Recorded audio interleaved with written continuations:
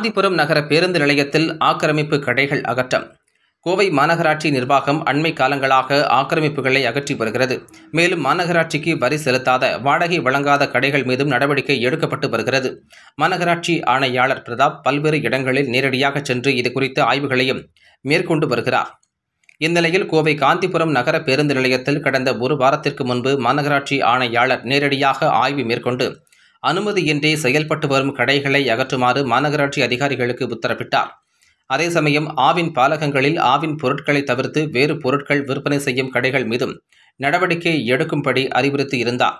அதன்படி இன்று காந்திபுரம் நகர பேருந்து நிலைய நுழைவு வாயிலில் அனுமதியின்றி செயல்பட்டு வந்த தனியார் டீ கடைகள் செல்போன் கடைகளை மாநகராட்சி அதிகாரிகள் ஜேசிபி வாகனங்களை கொண்டு அகற்றினர். மேலும் ஆவின் பொருட்கள் மட்டுமின்றி இதர பொருட்களை விற்பனை செய்து வந்த ஆவின் பாலகங்களையும் அதிகாரிகள் அகற்றினர். இன்று மட்டும் காந்திபுரம் நகர பேருந்து நிலையத்தில் சுமார் பத்திற்கும் மேற்பட்ட கடைகள் அகற்றப்பட்டுள்ளன. ஏற்கனவே அதிகாரிகள் கடைகளை காலி செய்யும்படி கடிதங்களை வழங்கி இருந்ததால் கடையின் உரிமையாளர்கள் கடையில் இருந்த பொருட்களை ஏற்கனவே எடுத்துச் சென்று விட்டனர். மேலும் சில கடைகள் தொடர்ந்து இயங்கி வந்த நிலையில் அதிகாரிகள் பொருட்களை எல்லாம் எடுத்துச் செல்லும்படி அறிவுறுத்தியதைத் தொடர்ந்து பொருட்கள் எடுத்துச் செல்லப்பட்ட பிறகு கடைகள் அகற்றப்பட்டது.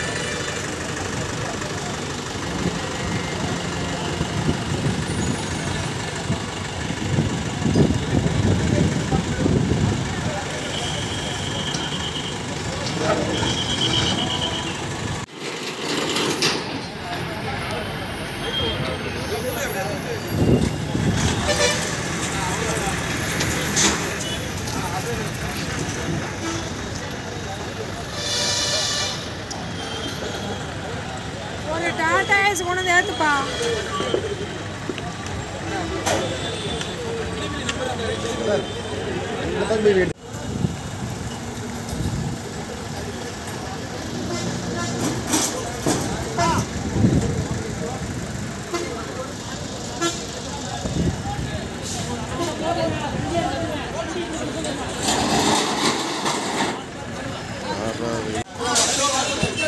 கொஞ்சம் Vai, vai, vai.